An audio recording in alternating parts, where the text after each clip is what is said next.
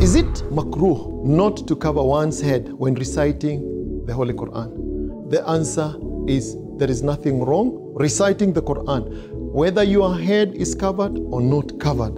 And I hope here we are talking about a man sitting somewhere reciting the Quran. Of course, if it is a Muslim woman and maybe you're sitting before other people, the hijab has to apply.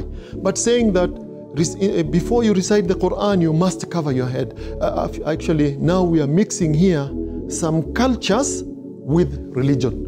There are some parts of this world, like for example, if you go to the Indian subcontinent, where I went to, to the university in Pakistan, actually, some people believe as a man, your prayer is not accepted unless you wear something on your head. So actually, you find people using their handkerchiefs on their heads, or there are some uh, what do you call it, some um, basket reed type uh, caps. When you are praying, somebody interrupts you up and puts on that cap because they believe your prayer is not right.